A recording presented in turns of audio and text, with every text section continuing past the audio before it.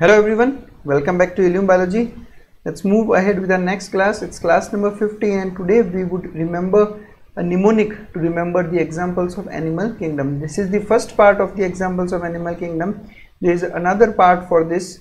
Uh, do watch that part also.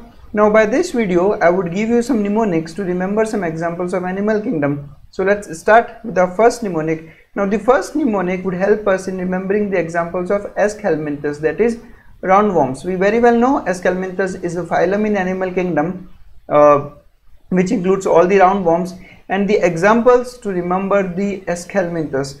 Now to remember the examples of Aschelminthes we would need to remember a simple word which means Havan which means Havan. You must be knowing about Havan. Havan is a ritual performed in India whenever we are uh, uh, going for any opening of house or inaugurating some shop or even in marriages we perform Havan. So that Havan would help us in remembering the examples of Aschelminthes. How? See H H would stand for hookworm. A hookworm which is also called as ancylostoma. Next is A. A would help us in remembering Ascaris. The very well known example of Aschelminthes is Ascaris. Next is W. W means Wuchereria. Wuchereria which is filaria worm. See I am also writing here the common names of these uh, organisms. Hookworm is ancylostoma, Ascaris is roundworm and Wuchereria is filaria worm. The next A is Aschelminthes. This is included just to remember that this mnemonic is for the examples of Aschelminthes and the N, N stands for Nemathelminthes. We very well know the other name of S. helminthus. S. Aschelminthes is also called as Nemathelminthes or nematodes. So by this mnemonic you can remember the examples of Aschelminthes as well as the other name for Aschelminthes that is Nemathelminthes or nematodes. So basically three important examples of Aschelminthes are Hookworm, Ascaris and Wuchereria and the mnemonic is Havan. Okay, let's proceed with the next one, the second mnemonic. Now this mnemonic would help us in remembering the examples of annelids, all the annelids and it's a very simple mnemonic. You just have to remember the name of a girl called Neha.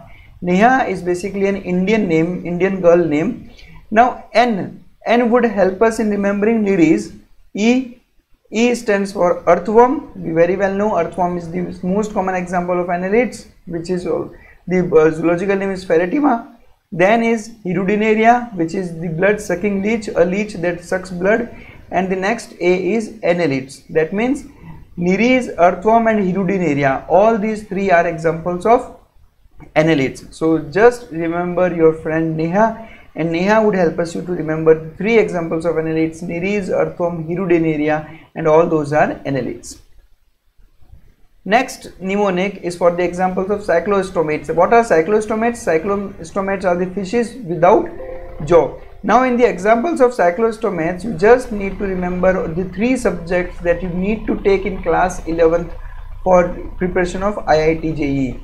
This is physics, chemistry and maths. Physics, chemistry and maths. For NEET, we take physics, chemistry, bio for maths, we take physics, chemistry, maths. So physics, chemistry, maths would help us in remembering the examples of cyclostomates. The first is P. P, P means petromyzon, which is also called as lamprey. Next is C. C means cyclostomates, the name of the group. And the next is M. M stands for myxine. That means myxine and petromyzon are examples of cyclostomates. So remember PCM and PCM would help us to remember about petromyzon and myxine being cyclostomates. Myxine is also called as hagfish. Next mnemonic is for the examples of vertebrates. See, there are some groups in vertebrates. We very well know the classification of Chordata phylum. In Chordata phylum, there is a group called vertebrata and in vertebrata there are total five more groups. And to remember the names of those five groups, just remember Param. Just remember Param. Param is also an Indian name which means super. Now P P stands for Pisces that is the group of fishes. Next is A, A stands for amphibians. Then R, R stands for reptiles. Then A, A stands for aves or birds. And the last one is M that is mammals. We often get confused in the in the different groups in amongst the vertebrates. So it's very easy to remember all those groups. You just need to remember a name called Param, Pisces, amphibians, reptiles, aves and mammals. So these are the groups in vertebrata. Next mnemonic. Now by this mnemonic you can remember the examples of sponges and this is a very simple mnemonic. Whenever someone asks you the examples of sponges just give them a single word answer that is sponges. The examples of sponges is sponges. Now how can you can you remember the examples of sponges by sponges? The first is s and s stands for Sycon or Scypha Sycon the botanical the uh, zoological name is Scypha the first example is Sycon next p stands for porifera which is the name of the phylum of sponges. Sponges they are placed in the phylum porifera. Next is on now by on you remember cliona.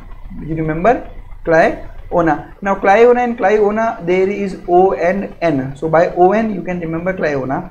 Next is g. G stands for glass sponge glass sponge which is called as hyalonema the zoological name is hyalonema the next is e. E stands for euspongia. Euspongia the other uh, name is bath sponge. So euspongia is remembered by e the bath sponge. And the last one is s. S would help us in remember the another example called spongilla or the freshwater sponge. Spongilla is the freshwater sponge. So the basic examples of Sycon, Cliona, glass sponge, Euspongia and Spongilla and all of them are the examples of the phylum Porifera which includes sponges. So these are the examples of sponges which you remembered by remembering the name sponges. So that's it. Thank you very much for watching us. Do watch the second part of this video in which we would give you a few more mnemonics to remember the examples of animal kingdom. Thanks for connecting with us.